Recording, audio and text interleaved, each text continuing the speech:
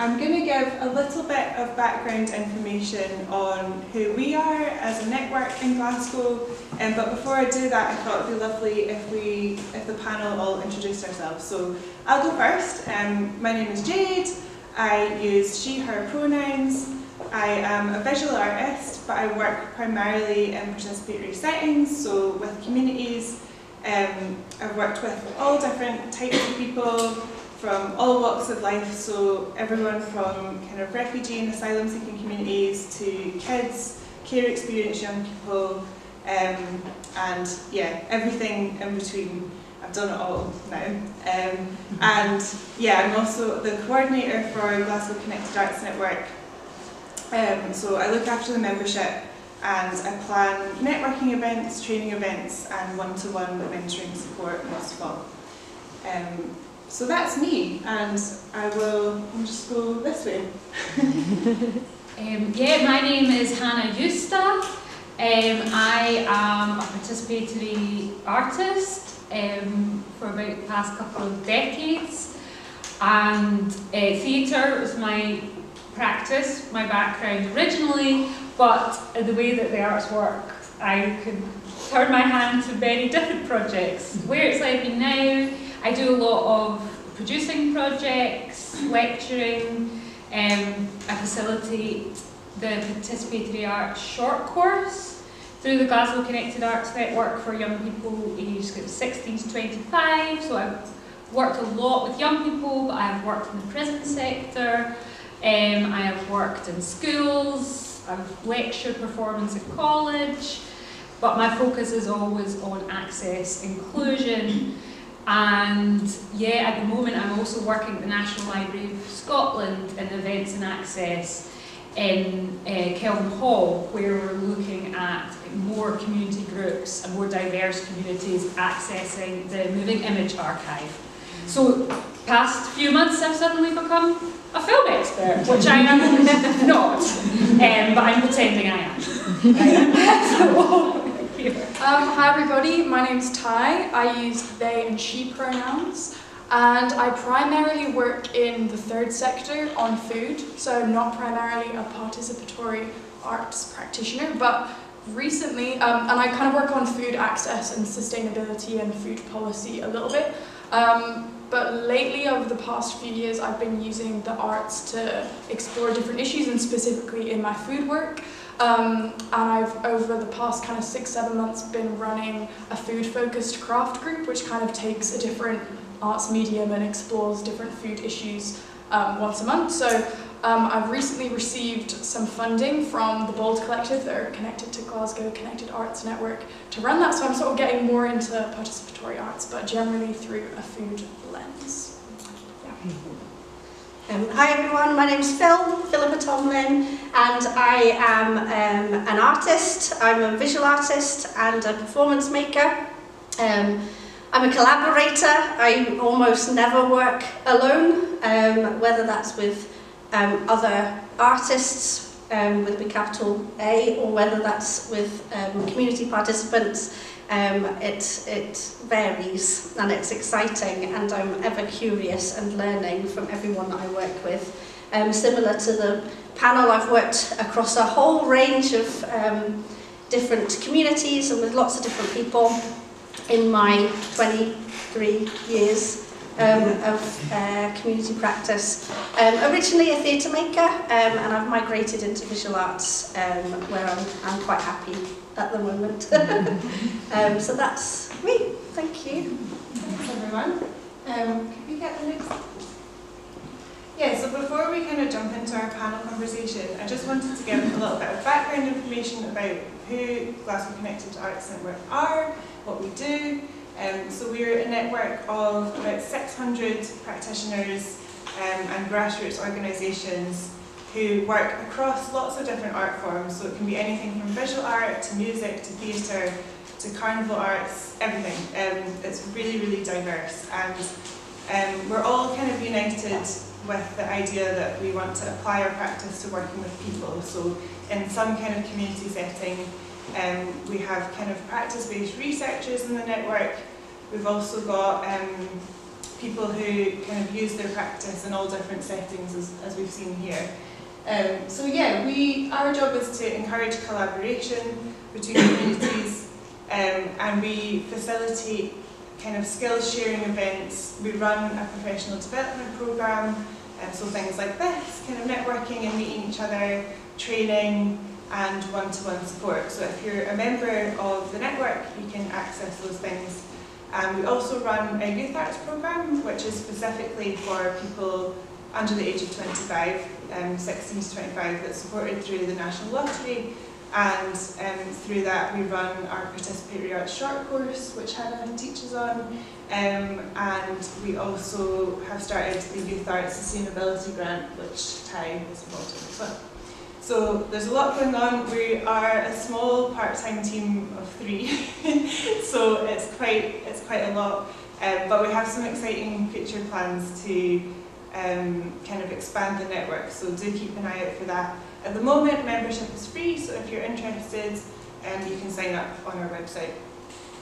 So that's a little bit about us, and then if we move on to the next one, I just wanted to give a little bit of context and background about what participatory art actually is and what it means, because I know that not everyone is kind of familiar with the term, and actually the word participatory is quite a, a mouthful, quite a tongue twister, um, and there's quite a lot of different terminology that you might have heard being used, like socially engaged practice, community practice, um, but our focus on participatory really just comes down to the root of people actively participating um, in an art form. So the ideology behind it is that it's shifting from a kind of individual, individuality, like individual studio practice to a collective one. And um, participatory arts emphasises moving away from the concept uh, of the artist as an individual and to be more of a collaborator in the creation of situations or artworks with people. And it encourages people to be active participants rather than passive spectators, um, and this kind of applies to all art forms. And it has the potential to break down partic participation barriers and um, societal kind of oppressions that are present in both people's everyday lives and in the, the kind of power structures that we see in the institutionalised art world as well, um, and people not being able to kind of access that. So there's kind of different levels of participation, and obviously I'm not going to go into this too much because we're teaching a whole course on it and we don't have very much time this morning. but if you are interested, you can email and we can send you lots of information. But yeah, um, we recognise that not all participatory projects can achieve the same level of participation and that like each project is kind of assessed for what it can realistically achieve within a community. Um, and we know that kind of different commissioning bodies and funders might have different ideas about what they want to see achieved in that community compared with the artist or even the participant sometimes. So it's a constant dialogue um, a constant kind of evolution of what we can do and achieve within communities. Worth mentioning, and I'm sure we'll come on to this as well, is that as a participatory artist, you're often more than just an artist. You end up being a mentor, a partner, a collaborator, a facilitator, enabler. And I think really rooted in that is this idea of care um, and wanting to help people and look after the communities that you're working with. Um, also, we always we drum into this um, idea of it's kind of focused on process rather than product. So the the value that we see in participatory arts is people participating in the act of making rather than the final outcome. But that's not to say that it can't produce a really interesting and thought-provoking final outcome. It's just that we place a lot of value on what people get out of coming to um, participatory activity, whether that's help for their kind of well-being or confidence um, or various other things that we see. So um, to sum up my kind of very quick um, summary of participatory practice, um, to me anyway, it is about acknowledging but not assuming the oppressions that other people might be experiencing in their everyday life. Um, and recognising that oppression exists and actively trying to avoid practicing oppressive kind of methods um, which reinforce the economic and social forces that keep people down effectively. So it kind of stems from this idea of self-liberation and um, understanding that people are the people in the communities are the best people to liberate themselves from the oppressions that they face. Um, and as a participatory artist, you kind of go in and you analyse and recognise the, the forces that are contributing to people's oppressions and work collectively together um, towards transforming their realities through art. Um, so yeah, that's a kind of that's a kind of summary. Have I missed anything super important? Do you think? I think that's So- great summary. Um, as I said, we could go on for hours about this, so if you are interested in finding out more, please get in touch with us. Um, but yeah, I thought I would start off with the first question, which is around the theme of endurance. Um, so endurance is the Creative Mornings theme for October. What comes to mind when you think about endurance in participatory practice? And I thought we would start with Hannah first, and then Ty, and then Phil. Thanks, Jade. Um, so, So- my practice is completely, or strives to be, participant-led, and I'm always aware, you mentioned oppression, I'm always aware of the possible, again, not assuming, oppression and very challenging life circumstances that people in the room have faced and are facing, and absolutely take my hat off at every group that I work with of the strength that these participants are showing. Um, so endurance and that participatory arts and arts practice can help. I like to hope that it helps with the endurance of getting through. Um, obviously, you, mentioned um, New Scots, refugee asylum um, community that pops into my head. I've worked a lot with women's groups, women who are in the social justice system, and what they have endured in their lives and what they're continuing to endure is incredibly powerful. And when I'm in that space, I guess I'm enduring that too as a human and trying not to take too much of that on. And I've got my own lived experiences. So the art form, whatever it is we're doing, is is helps us with that endu- endurance. And then the other thing I thought about, because I do a lot of sourcing funding and making projects happen and producing, is how challenging it is for the participatory art sector to endure through all of these cuts, the financial crisis, trends in funding, um, and a, a lot of what the Glasgow Connected Arts Network is about is about supporting people who feel either individual as artists or grassroots organisations, but really struggling up against quite a lot of barriers um, to endure as an organisation or in their practice through these really challenging times. So yeah, that kind of level on an individual, on the people that are in the room, and then as a sector. But the incredible thing is, if we want to make art and be creative, it does endure, and it's about the people. So that was all the kind of stuff that popped into my head. Yeah, so I think very much building on what Jade and Hannah have already said, I think that while we have social issues in society um, and things in our social system that we don't um, kind of like, I suppose, like all these injustices and oppressions that you were mentioning, while we can recognise the social good of arts and particularly participatory arts, which I think is so refreshing in how consciously it seeks to kind of engage and be aware of these things. So I think um, while we can recognize that power of kind of coming together and the resilience that it can build in us as individuals in coming together with a group and also in our communities, I think that's that's really powerful. Um, and I think that kind of goes into why it's so important for art to be accessible and that participatory art really kind of has this this consciousness to, to make it accessible. Um, I guess that's on the kind of broader level. I also wanted to mention, Hannah, you're kind of mentioning there the funding, and I think when you're quite established in this way. You're very much aware of all these issues. For me, I'm still very green and naive to this participatory arts world. So yeah, I don't feel like endurance is such a thing so much yet that I've had to deal with because it still feels like a real privilege to be able to engage with people. But I think it really can build endurance in communities and in groups um, in coming together and creating that space to explore issues. Thanks. Brilliant, thank you. Um, yeah, uh, similar, I, I went for it, I jotted down instinctive thoughts. Um, I wrote down survival and resilience, and I think that we will always come back to the arts, we will always come back to creativity as human beings. We need to do that, we need to tell stories, we need to paint pictures, we need to sing songs. It's what keeps us going um, fundamentally. Um, and finding ways to do that together is probably the most the actual root of what of what participatory arts is and what making art is.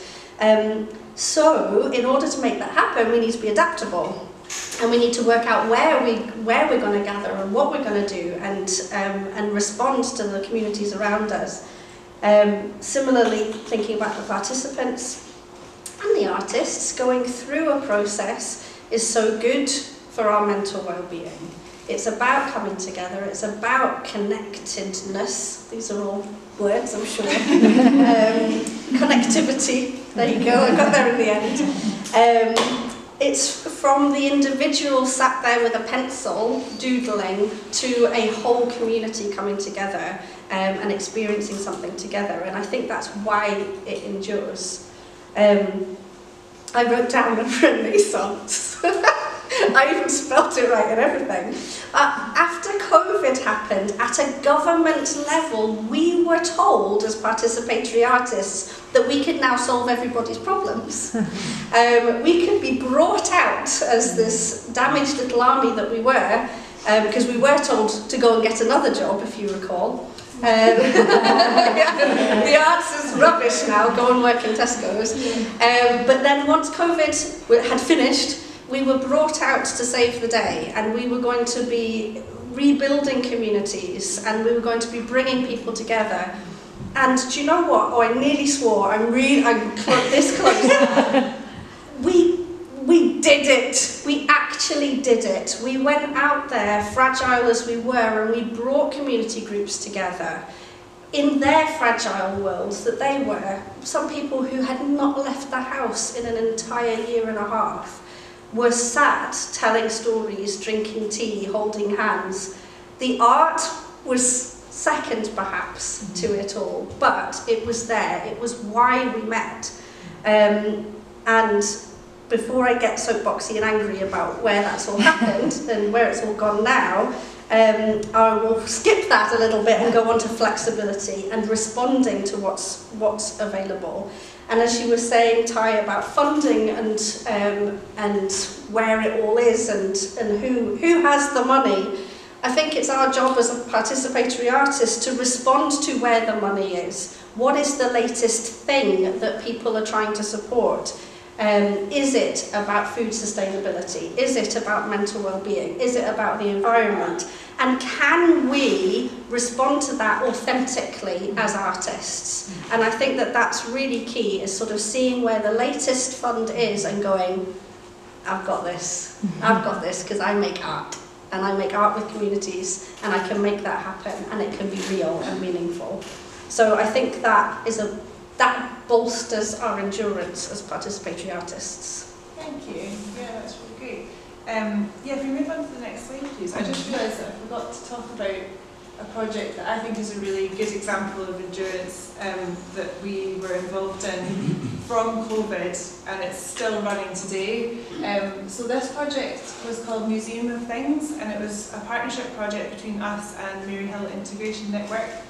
Um, basically it started during lockdown and it was to kind of create a community between new Scots living in Maryhill um, primarily, and the group started meeting online regularly in 2021. Um, and it was run by an artist called Musa um, and, another artist called Paria, who both had lived experience of um, being through the kind of asylum process. They it was just amazing to see. Um, from the beginning, they were experimenting with lots of different techniques. Um, they tried out many different things, and then eventually this all accumulated in an exhibition, um, which was was the canal place um, along. It was like Yeah. an old bike store that wasn't even a gallery, like it was just like a random space that they found um, and repurposed it into a gallery and basically built a gallery for their exhibition, which was incredible. Um, and I think what's really powerful about this is when people started, they um, were maybe doing it for the social aspect or yeah to reduce isolation. And then by the end, there was practicing artists in that group who defined themselves as an artist and who were having more exhibitions and even like selling their work. So it was a really incredible thing to see people's confidence grow throughout that process. Um, and I think what was really important in that was the artists themselves not being precious about what was being produced, but letting go of their own kind of like authorship or their own artistic ego and letting people, letting the individuals in the group roll with their own ideas and what they wanted to do and try. And that's what made it, to me, a really, really successful kind of example of endurance. Um, so yeah, if you're interested in their work, I think they're still running. Yeah, they've got found their home at the CCA. So the Yeah. CCA opened their doors, welcomed them, and that's their kind of regular space. So that's pretty amazing and wonderful um, as well. And yeah, the group, the group is very much still going. Yeah. Um, but yeah, I'll go on to question number two now, which is what or who keeps you motivated and inspired? Do you have an example of a really good participatory project you've worked on or seen recently? So I've changed the order, so I'll start with you, Ty.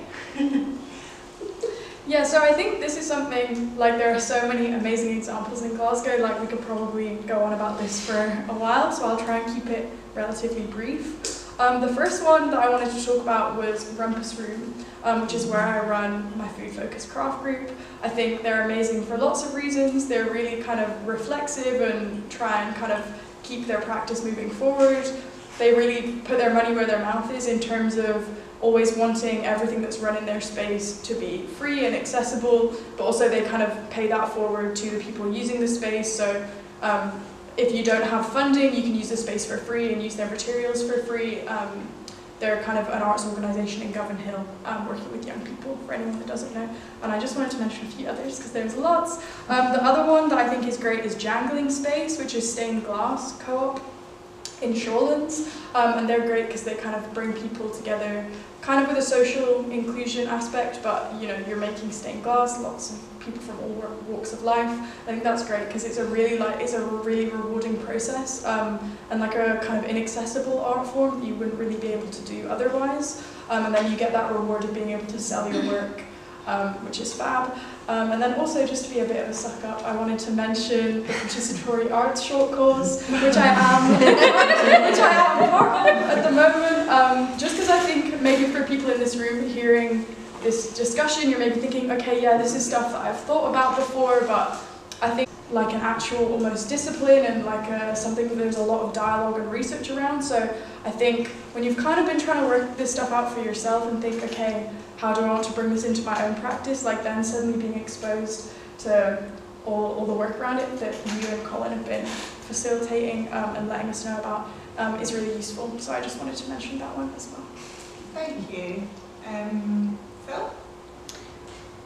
Yeah, brilliant. Um, um, I, um, it's so cheesy. It's the participants that keep me going. Yeah. It's the, it's, that's the reason I do what I do.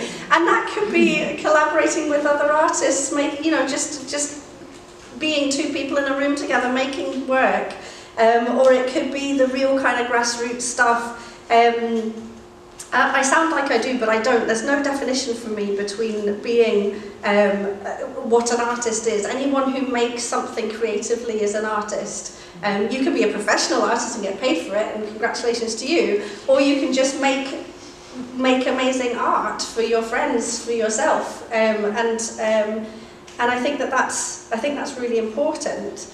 Um, I think, um, uh, what did I write down? Why did I write down this? What was the question? I, I, I think that um, the process of it keeps me going and that kind of there's always a similar thing that happens um, at your kind of grassroots participatory practice and the first bit is the wobbly bit there's a lot of bravery in a room people have arrived in a space together and they don't really know why they're here but it sounded interesting um, and you're all here and so you're all working each other out Um, and then there might that might dip a bit. There might be a bit of distrust when I start talking and I start going right. We're going to try this together, and there's a bit of oh no. there's there's reluctance there. We work through it. It's fine.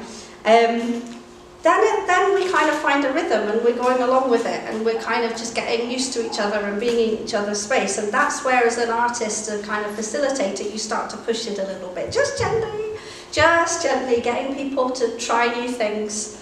Um, then there's a kind of like, this is quite fun. I'm going to come back. I'm going to come and try this again. Um, and then the best bit, and it doesn't take long, is owning it. And suddenly you find that everybody's come through this process together, the artist included, where you are all in the same boat and you're all owning whatever this thing is. Um, and so when you talked about the letting go of ego and the space that was created uh, by the Museum of Things, I absolutely know what that feels like and that is a real kick. That is a real hit and you're like, yes, we're in it. Um, there are amazing um, projects and amazing um, examples of work. Um, I'm going to name drop my own company um, called Mortar Projects, which is quite a unique um, space, a unique model of working. Um, it's bringing um, predominantly visual artists, but not exclusively, um, together um, from the kind of street arts kind side of things to work together and experiment and develop their art form. Um, and so there are there are people who are paid for mural work, and there's people who literally just go back tagging Glasgow. And together, we're all working in this space and making art together and it's fun and it's playful and it's, it's just adults playing in one space. It's brilliant. Um, and then lastly, I just wanted to talk about a little tiny project. And these are, these are examples that pop up everywhere. They're not exclusive, they're not, they're not big shouty things. When an artist is brought in um, to support a little group through mental health challenges, and this happens time and time again. This is the kind of bread and butter for the participatory artist. And you don't know who you're going to meet. And you'll start working together. Recently I did one at, at an allotment. So, um, Renfrewshire Council said let's bring some adults together um, to make art in a, in a local allotment. And, um, and we did. And it was, it, was, it was small and it was neat and it wasn't shouted about, it wasn't public. We just drew together, we painted plant pots together, we wandered around the allotments. Um, and it's magic because everybody did feel better in that space and everybody came back time and time again.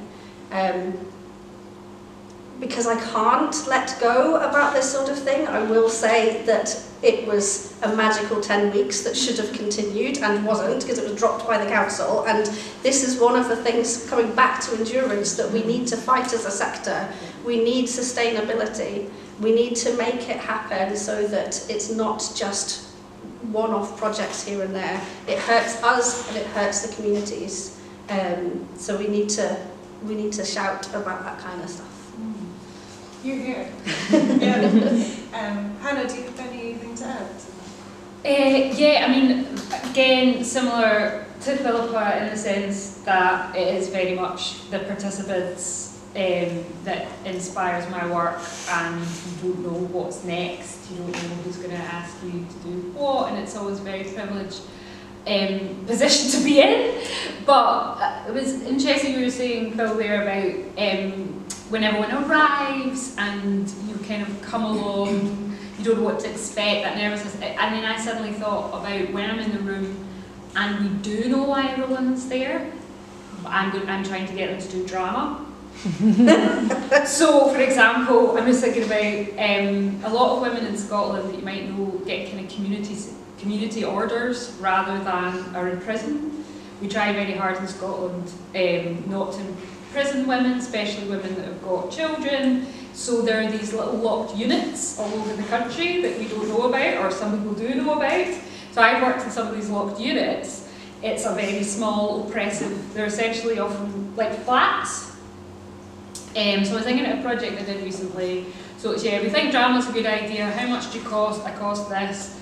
Uh, okay, that's fine, come along, as you say, for 10 weeks and do drama with these women who are enduring incredibly awful situations. And let's be honest, are mostly in prison because they stole something and they have an addiction.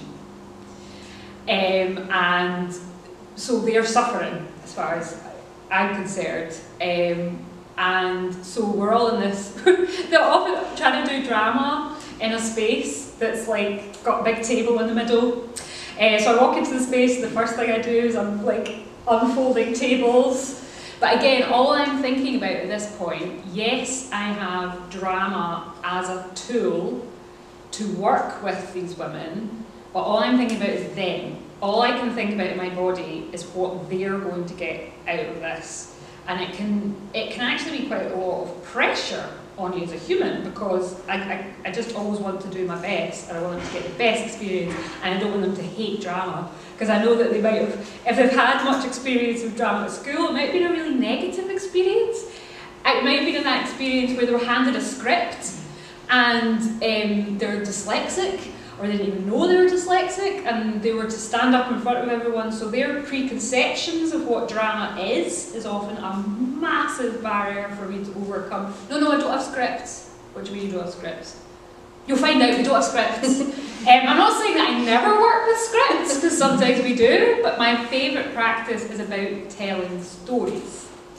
So, and again, in a kind of prison situation, or we wouldn't call it prison, a locked unit situation, a women's unit situation, I'm not going to say, so why are you here? Because that's not appropriate. So again, it's this balance of telling other people's stories. Am I going to bring in stimulus of a story or characters? I'm going off on a tangent here. But basically, it's never the same. You never have you can't have your own preconceptions of what it's going to be like, but it is it is the groups that inspire me, and every single project I do, I learn.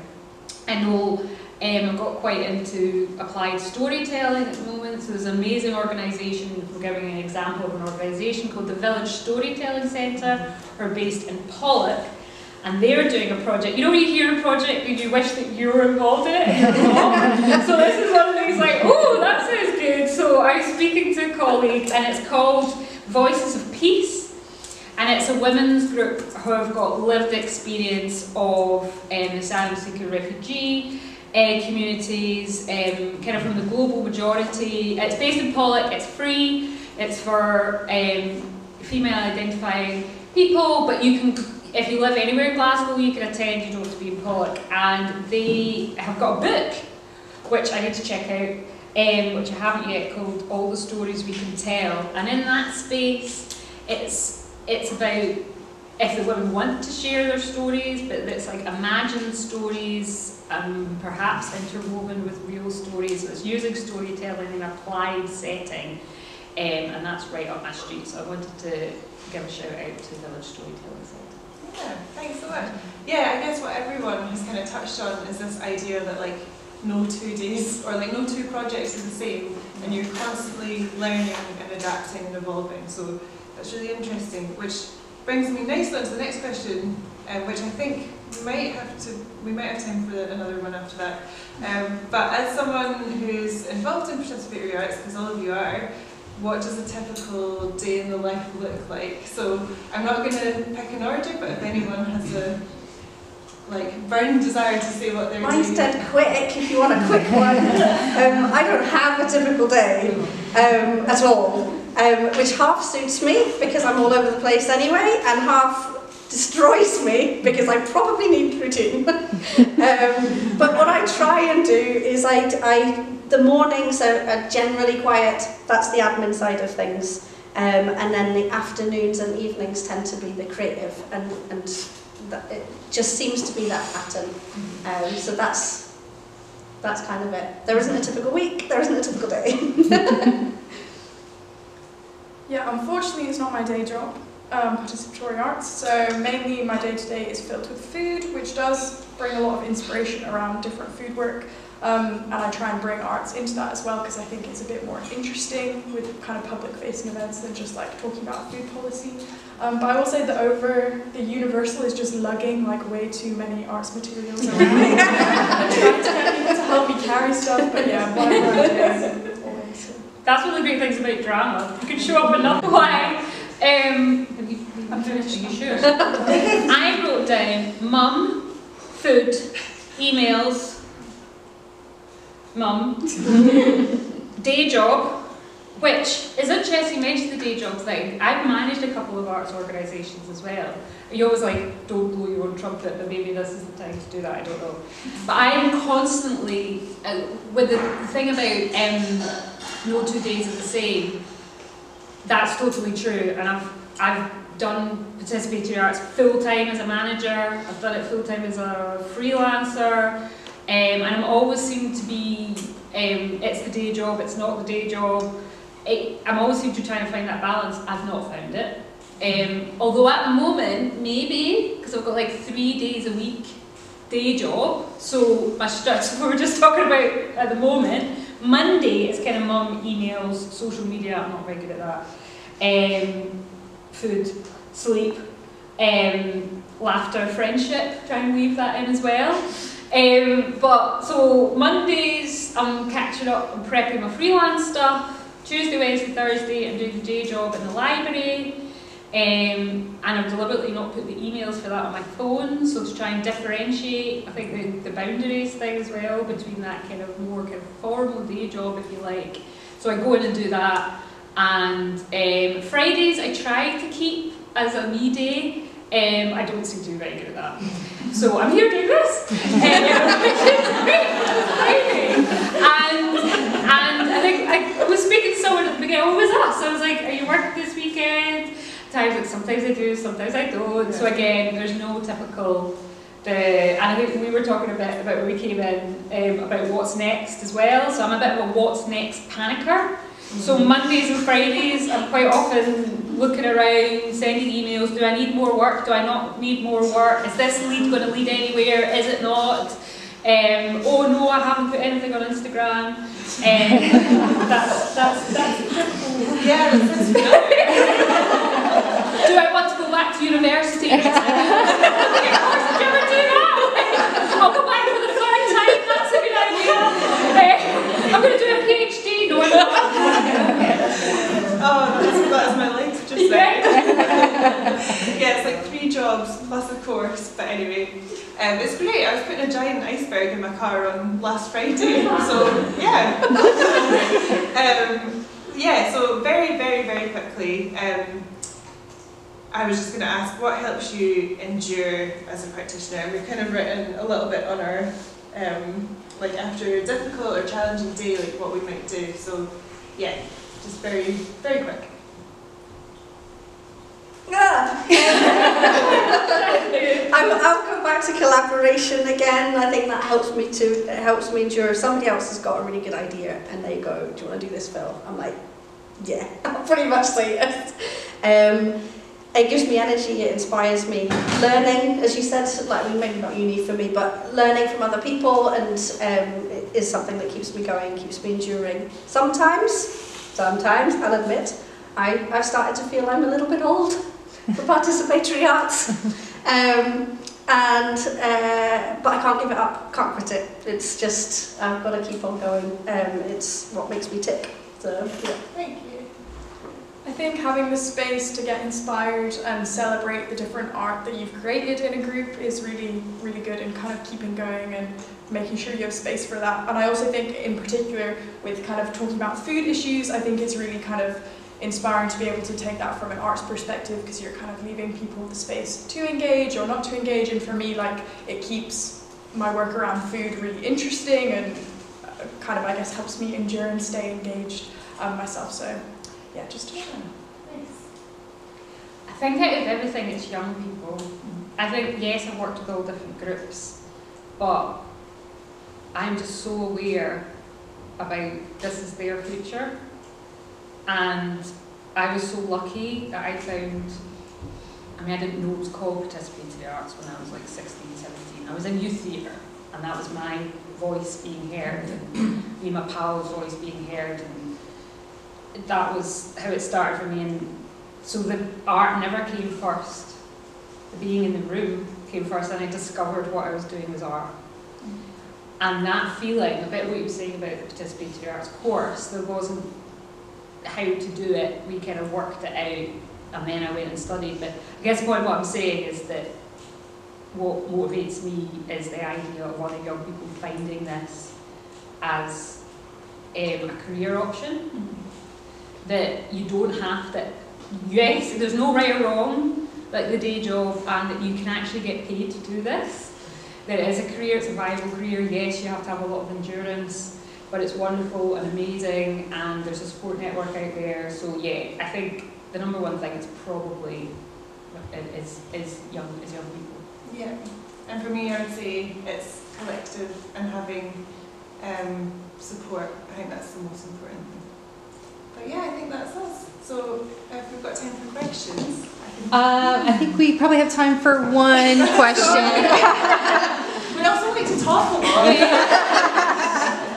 Um, I, I don't know about y'all, but I mean, a lot of that really resonated for me, you know, in, in terms of um, being inspired by other people and, and, and also like the fact that everyone is creative and we need to be around other people, uh, not maybe for every bit of our work, uh, but for at least for part of it. Um, so thank you very much to the panel. Uh, we'll just do a quick. Uh, um, thank you, so much for sharing your, stories. And yeah, it's very, very inspiring to hear, you know, from different stages, different experiences. I, I think it's it's fantastic. Um, do we have any any questions? I've got one small one, but uh, does anybody have any questions? I kind of do, but I don't want to be like too loaded. Uh, a tangent off of one of the things that you said when you show, showed up in your drama group um, about like how we show up in this space, like when we're starting with folks for the very first time. Um, hi, I'm Jess, by the way. uh, I think that often, like depending on how the group is formed, if it's like al- already a group or if it's people who responded to a call out or whatever, like they kind of have a preconceived notion of who's this person coming in? Is this person funded by an organization or is this just like a random person we found on the internet? I, I guess I'm just like, what's your go-to spiel when you introduce yourself or say what you are? Or like, I'm a participatory artist, like, yeah, what do you? Or like if you're funded by academia or a researcher or like whatever, like, yeah, sorry, loaded question. no, but it's a really good one. That's a really Um, good one. I guess I'll start off by talking a little bit about the kind of context of what makes good practice, which is not parachuting into a community. So like I and the I and I know that this isn't always realistic, but the ideal scenario would be that you work long term with that community, you really get to know them. You aren't even making art for the first bit, you're actually just hanging out and building trust before you even get to that stage. Um, because I think, yeah, if you do go in as a kind of alien, almost, it's like, yeah, who is this person and why should we trust them Right. part of The it? power dynamic is. Yeah. Um, so I think, yeah, it's also good to be mindful of like who is commissioning this project and to what outcome they're looking for. Because, yeah, as Phil was saying earlier, like going into Govan to solve poverty, like that's not a realistic outcome, but that is one that has, like my lecturer said that he like got this funding. He was like, I can't do that. Yeah. So I think it's being realistic about what can be achieved within the time frame that you've got as well, um, and really getting to know the group and what they want rather than bringing in your own ideals. Um, or yeah, trying to maybe like if the if the funder has really strict ideas what they want, like having a dialogue so that you can adapt and evolve what you're doing to really meet the needs of the participants. Mm-hmm. Yeah. Can, can I add, there's a, there's a balance, I think, to be met. That is about being the authority in your subject and mm-hmm. in, in the in the holding the space, mm-hmm. you need to be trusted that you can do that, and being and having humility in the space that you don't know everyone yet and you don't know what everyone's been through, and it's almost it's, this makes light of it, but it's almost a game finding the balance between those two things and making sure that people know who you are and that you can hold this space and yet you you will give them time um, to uh, to to let you know how they're going to function in the space. I do quite a lot of cracking jokes. so I think that even if I'm brought in for some a really serious topic, just about most of the time, I want to bring laughter. And if I think like energy, laughter, motivation, but as you say, yes, I come from a theatre drama background, but this is about you, this is about what you want to make. I'm here to help. I'm here to bring in some random ideas. If you want them, take them. If you want them, do something else. I'm here to support you. So I think it's just having that very open, honest, really. Sometimes I call it. Sometimes I go, oh, the council funded me to do this, but we'll just do that. You know, I just, I tend to just put it all out there. So there's no us and them, because that's just not, that's not going to work. Because that's not how I work. And it's right, we're doing this, let's go for it. Just really open. Yeah, I do find that humour and that honesty really useful. And also, if I'm coming at something from maybe it's I'm doing it for a food organisation with a particular message, it's almost that flexibility and allowing whoever's participating to take what they want from it and engage with it how they want that almost makes me feel a bit more comfortable about like I'm bringing you something that I want you to engage with or feedback to me somehow, but you're getting to shape it how you wish and do something artistic with it. So that almost makes me feel a little bit better sometimes than like I'm not just like pestering you about the food system or whatever. Good. That's, that's a great question. Um, thank you very much. Excellent. Well, thank you very much to the panel. Um, I believe that.